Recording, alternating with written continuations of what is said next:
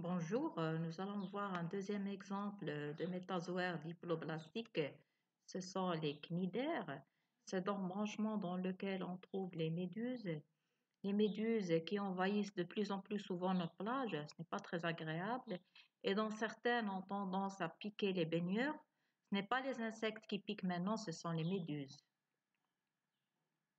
On trouve également euh, le corail le corail avec lequel on fait des bijoux, d'accord? Ici, euh, ce sont les anémones de mer, d'accord? Et nous avons par ailleurs d'autres formes de cnidaires. En revanche, les cnidaires sont des métazoaires qui sont diploblastiques, dépourvus bien sûr d'organes différenciés, D'ailleurs, ils n'ont pas de mésoderme. C'est normal. Ce sont des animaux euh, essentiellement marins à 99%, vivant isolés, c'est-à-dire solitaires, ou bien en colonie, c'est-à-dire en groupe, euh, à plusieurs, autrement dit. L'icnidaire présente par ailleurs euh, une symétrie radiaire d'ordre pair, à laquelle se rajoute parfois une symétrie euh, bilatérale euh, que vous connaissez maintenant très bien. D'accord? Les cnidaires se présentent par ailleurs sous deux formes. La forme benthique ou bien polypes qui sont fixés et d'ailleurs qui vivent euh, au fond, au fond des eaux. D'accord? Et la forme nageuse ou méduse qui sont planctoniques. Alors planctonique, ça veut dire qui vivent en suspension, suspension d'accord, et qui se laisse entraîner par l'eau, d'accord. Alors, euh, vous voyez ici la ressemblance entre la forme polype et la forme méduse, d'accord Ils ont euh, l'air euh, d'un double sac, d'accord L'un à l'intérieur de l'autre, d'accord Alors, l'ectoderme et l'endoderme sont séparés par la mésoglée, qui est très très fine par rapport à ce que vous avez déjà vu chez les spongières. Nous avons un orifice ici, un orifice unique qui mène à la cavité gastrique et qui cumule les deux fonctions anales et buccales. D'ailleurs, on l'appelle orifice bucco-anal. Alors cet orifice-là est entouré par les tentacules, aussi bien chez la forme polype ou chez la forme méduse. Alors euh, chez certaines espèces, ils sont capables d'osciller par ailleurs entre la forme polype et la forme méduse, c'est-à-dire que le polype là euh, va se détacher, il va se retourner, d'accord, et euh, former une méduse, d'accord voyez ici la méduse où les tentacules vont se retrouver vers le bas et la bouche vers le bas. Alors cette forme-là, à noter qu'elle est libre, elle va permettre notamment la dissémination de l'espèce.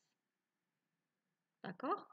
Alors quand on zoome maintenant sur la paroi euh, de leur corps, on trouve par ailleurs deux feuillets, euh, l'ectoderme et l'endoderme. Bien sûr, ils sont diploblastiques. Alors, chaque feuillet est tissulaire.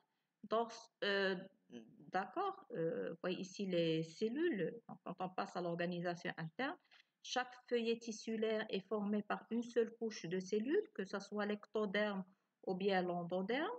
D'accord Et ces couches-là sont monostratifiées. Mono, ça veut dire une seule couche de cellules. Donc, nous avons une seule strate de cellules au niveau de chaque tissu et c'est pour cela qu'on l'appelle épithélium monostratifié.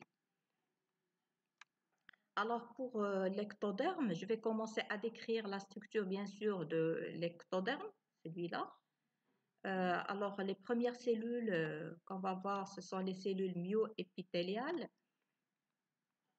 qui forment une couche de cellules de revêtement et leur myofibrilles longitudinale assure par ailleurs la contraction de l'animal. Alors, le deuxième type euh, de cellules, ce sont les cellules interstitielles. Ce sont par ailleurs des cellules qui sont embryonnaires, c'est-à-dire non différenciées, et elle assure euh, par ailleurs le remplacement des autres catégories cellulaires et des gonocytes. On va revenir euh, sur les cellules interstitielles à chaque fois au niveau de ce cours. Alors le troisième type de cellules, ce sont les cellules sensorielles. D'accord, que vous voyez ici. Alors sensorielles, ça vient de sens, comme le sens que nous avons. Ce sont des cellules qui sont très étroites, possèdent par ailleurs un cil excitable. Ils sont en revanche, euh, alors ces cellules sensorielles sont en contact avec la mésoglée. D'accord? Alors lorsque ces cellules sont touchées par un animal ou bien par un support quelconque, donc on peut avoir le début de la contraction du cnidaire.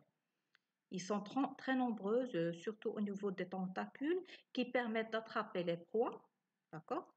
Alors, pour le quatrième type de cellules au niveau de l'ectoderme, ce sont les cnidoblastes. Alors, ces cnidoblastes-là, euh, ce sont des cellules caractéristiques des cnidaires. Elles sont abondantes sur les tentacules, urticantes, c'est-à-dire piquantes, et servent à la capture des proies et à la défense du cnidaire. D'accord? Ces cellules ne fonctionnent à noter qu'une seule fois et ils sont remplacés grâce à quoi? Grâce aux cellules interstitielles. D'accord? Alors on passe maintenant à la mésoglée.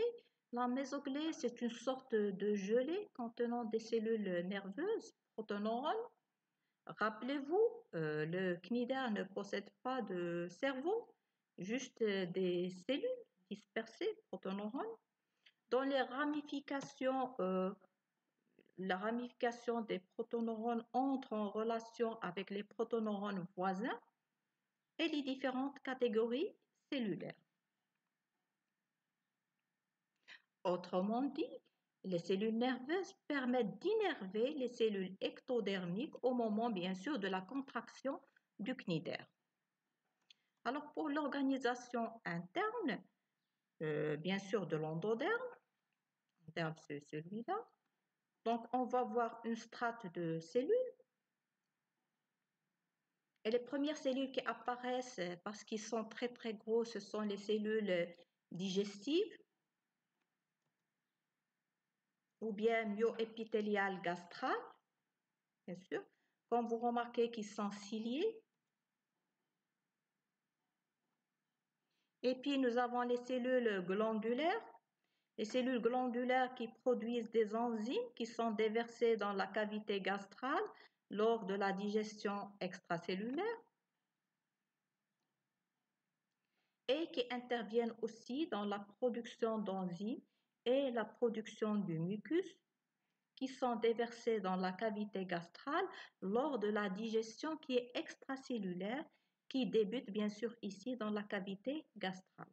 On va revenir euh, sur ça après. Alors, concernant la nutrition, la plupart des cnidaires sont carnassiers car ils se nourrissent de plancton, de protozoaires et de petits poissons. Ils capturent et immobilisent leur proie à l'aide de cnidoblastes de leurs tentacules. Alors, les cnidoblastes contiennent par ailleurs des toxines qui paralysent la proie. D'accord? Si on zoome sur les tentacules, vous voyez ici le tentacule, si on fait un zoom, on voit ici les cnidoblastes. Au niveau des cnidoblastes, vous voyez ici un cnidocyle. Alors, comment ça se passe? Quand euh, une proie ou bien un manger touche ce cnidocyle, la cellule, c'est-à-dire le cnidoblaste, se rétracte et il y a un filament à l'intérieur. Ce filament urticant, il sort vers l'extérieur. Voyez ici la sortie du filament urticant. D'accord? Et il va se planter sur la proie. D'accord? Et une fois se planté dans la proie, il va injecter les toxines qui paralysent par ailleurs cette proie. Alors cette opération ne, ne dure que quelques millisecondes, d'accord? Et puis les tentacules se rétractent et la nourriture est ramenée vers la bouche, la bouche qui se trouve évidemment ici. Alors, cette opération euh, ne dure euh, justement que quelques millisecondes et après, le kinidoblaste meurt. Bien sûr, les cellules, ces cellules euh, urticantes meurent et ils sont remplacés, bien sûr, par les cellules interstitielles. On passe maintenant à la digestion. Comment se fait la digestion? La digestion est d'abord extracellulaire, puis intracellulaire contrairement aux spongiaires où la digestion est uniquement intracellulaire. Je m'explique. La digestion débute dans la cavité gastrale. Alors, vous voyez ici un cnidaire qui avale une daphnie, euh, il peut aussi avaler un petit poisson. Alors, comment ça se passe, sachant que le cnidaire ne présente pas de tube digestif On a affaire à juste des cellules. Alors, c'est une technique perfectionnée. En effet, les cellules glandulaires secrètent du mucus et des enzymes digestives qui dégradent notamment la nourriture. D'accord? Les particules alimentaires partiellement digérées sont ensuite phagocytées par les cellules myoépithéliales gastrales. D'accord? Et après, la digestion est complétée bien sûr à l'intérieur des vacuoles digestives. D'accord?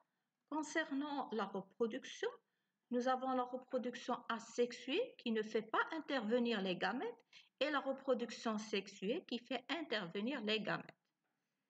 Pour la reproduction asexuée, nous avons par ailleurs la régénération, le bourgeonnement et la strobilisation.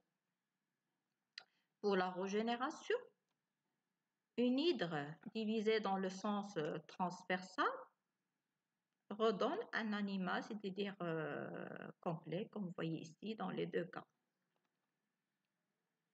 Alors, le pouvoir de régénération s'explique bien sûr par la présence des cellules interstitielles. Après, nous avons le bourgeonnement où le polype et certaines méduses peuvent émettre des bourgeons en différentes parties de leur corps.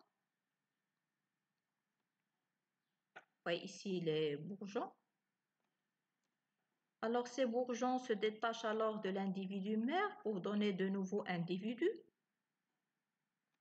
Et quand euh, le bourgeon ne se détache pas, il reste, il reste collé, d'accord, de l'individu mère, on assiste à la formation d'une colonie. D'accord?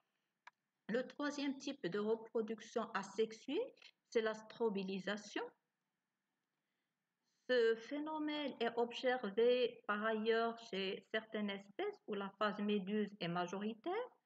De multiples étranglements euh, du polype, voyez ici la strobilisation, et euh, de multiples étranglements du polype permettent de libérer de petites méduses qu'on appelle éphirules. Cette éphirule-là va évoluer soit en méduse mâle, qui produit par ailleurs les spermatozoïdes, soit en méduse femelle, qui produit par ailleurs les ovules.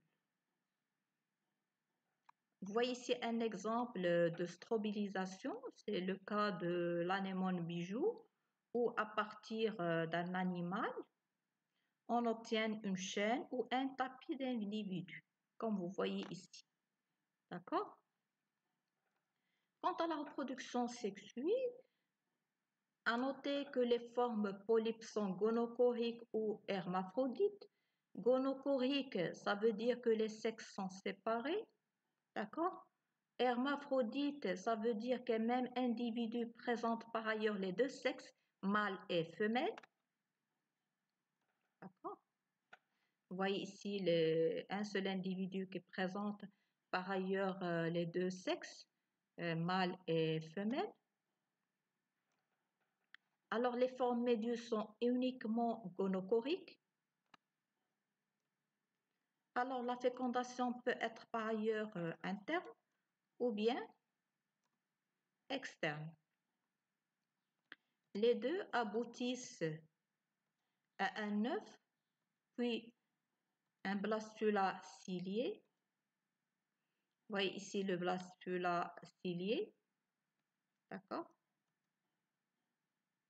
Ensuite, une larve parenchymula, parenchymula nageuse à ectoderme cilié et endoderme plein. D'accord Ensuite, on assiste à une larve planula, creuse, à vie pélagique. Vous connaissez maintenant le mot pélagique qui vit euh, à la surface de l'eau par opposition à benthique. La planula euh, se fixe par ailleurs sur un support, s'aplatit puis s'allonge en prenant la forme d'un polype. Alors, fondamentalement, le cycle de reproduction des cnidaires passe par une alternance de la phase polype et méduse, la phase sexuée étant bien sûr la méduse. Eh bien, le gamète mâle et femelle sont libérés par les méduses, bien sûr, mâles et une autre, par exemple, une autre méduse femelle, puisqu'ils sont gonochoriques. Il y a fécondation, libération d'un œuf, puis morula. La morula qui évolue en planula et qui va donner le polype. Pour ce polype, nous avons quatre cas de figure. Soit il va régénérer un polype par bourgeonnement, c'est ce qu'on vient de voir. Soit libérer euh, des gamètes, puis planula après. D'accord ou bien euh, par strobilisation libérer une jeune méduse, ou bien finalement donner une colonie de polypes qui libère une jeune méduse par, bien sûr, strobilisation. Bon, cette jeune méduse, là, peut évoluer en méduse mature et donner une jeune méduse après, et le cycle recommence. Bon, des fois, euh, on assiste à un cycle sans polype. Vous y êtes? Vous voyez ici euh, les méduses qui mesurent à peu près 4 euh, mm, libèrent des gamètes mâles et bien sûr une autre méduse qui va, par exemple, libérer le, le gamète femelle. D'accord? On obtient une larve planula, ensuite une larve actinuloïde, et enfin une jeune méduse qui évolue en méduse adulte et le cycle reprend. Eh bien, des fois, on assiste à un cycle sans méduse. Vous voyez ici le polype qui est hermaphrodite, présente comme vous voyez euh, les testicules et l'ovaire. En fait, euh, c'est juste une appellation. Il s'agit d'une cellule euh, mâle et cellule femelle. Alors, les testicules, par ailleurs, euh, libèrent les spermatozoïdes. L'ovaire libère un ovocyte. Après, on assiste à une fécondation, formation d'un œuf et libération d'un morula, un morula dans sa coque, oui, dans une coque après la larve planula sortant de la coque. Ah, et puis après euh, un jeune polype qui subit euh, une reproduction asexuée par bourgeonnement, le bourgeonnement qu'on a déjà vu. D'accord? Et puis le cycle recommence.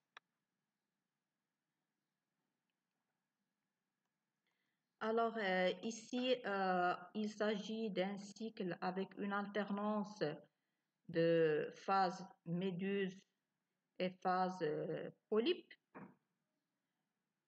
comme le cas du cycle de reproduction d'Obelia geniculata. Au niveau ici de la colonie, comme vous voyez, on a les gonozoïdes. Les gonozoïdes qui libèrent la méduse euh, mâle et méduse euh, femelle. D'accord? Euh, Alors, bien sûr, la méduse femelle qui libère l'ovule et la méduse mâle qui libère les spermatozoïdes, puis formation d'un œuf, puis parenchyma et planula, puis la planula se fixe pour donner un jeune polype, puis une jeune colonie, et puis une colonie mature et le cycle recommence. D'accord? Alors revenons à la classification des cnidaires. La première superclasse, c'est la superclasse des hydrozoaires. Alors le seul groupe euh, qui présente des espèces d'eau douce, noter d'eau douce, ce sont des cnidaires euh, primitifs à symétrie tétraradiée, tétra est égal à 4, qui coupe euh, par ailleurs le cnidaire en quatre morceaux identiques. D'accord? La nutrition est assurée par des individus spécialisés gastrozoïdes. Le cycle vital est typique avec alternance polype-méduse ou réduit à la phase polype ou à la phase méduse. D'accord? Pour la classe des hydraires, la phase polype est prépondérante chez les heptolides ou seule représentée chez les hydrides, chez les hydrides. Alors c'est l'exemple d'une colonie d'Obelia geniculata et de Chlorohydra. Alors concernant euh, le cycle euh, de, la colonie d'Obelia geniculata.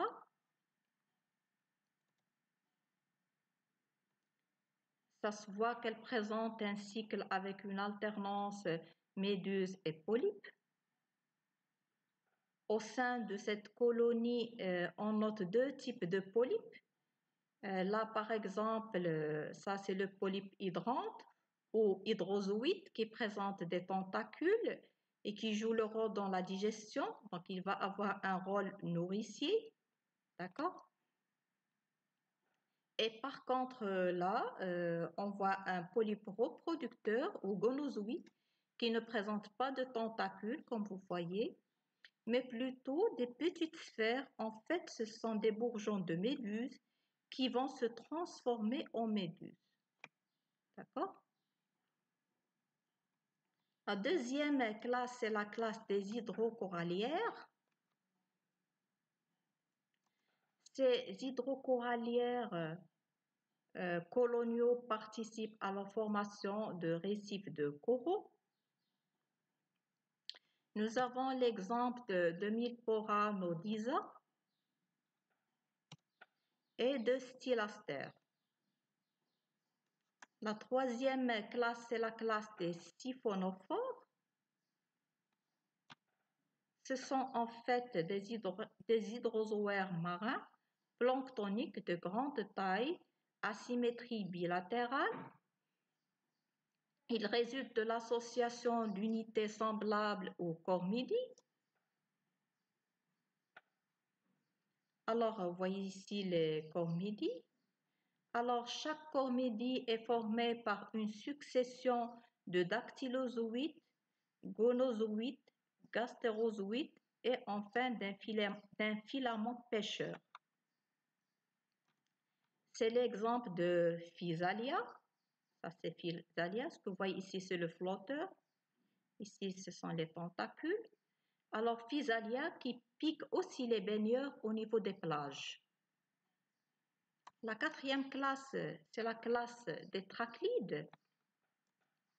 Alors ce groupe asymétrie radiaire n'existe que sous la forme méduse. C'est le cas euh, de Cunina, vous voyez ici, et de Carmarina astata. La deuxième superclasse, c'est la superclasse des siphozoaires. Alors, cette superclasse rassemble des animaux en forme de polype et la phase méduse y est largement prépondérante. Les méduses ne présentent pas de vélum. Ici, le vélum, on dit qu'ils sont acraspédotes parce qu'ils ne présentent pas de vélum et présentent une symétrie tétraradiée parfaite. tétra, je répète, est égal à 4. Alors la classification de ces méduses est fondée sur les caractères de leur cycle de reproduction. Nous avons le cas d'Aurelia ohita et de Rhizostoma. Alors, à noter que les deux sont des syphozoaires. Pour les syphozoaires, ils ont un polype, mais il est très petit. Mais c'est plutôt la génération méduse qui est dominante. Alors, je vous invite à voir une vidéo explicative.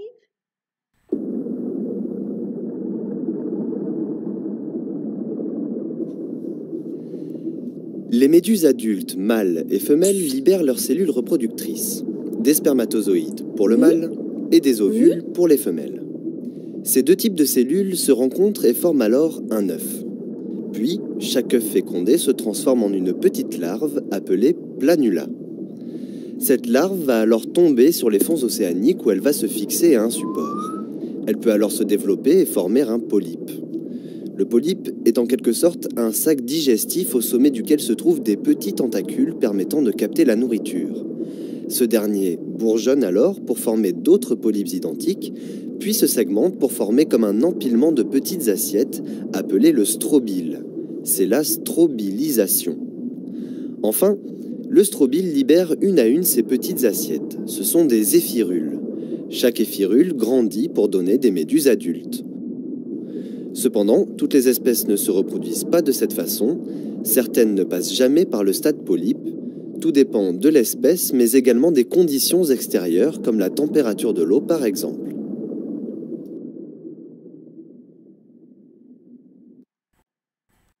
La troisième et dernière superclasse, c'est la superclasse des anthozoaires. Ce sont des cnidaires simples ou coloniaux qui n'existent que sous la forme polype Suivant le cloisonnement de la cavité gastrique, on distingue deux classes, la classe des octacorallières et la classe des hexacorallières. Concernant la classe des octocorallières,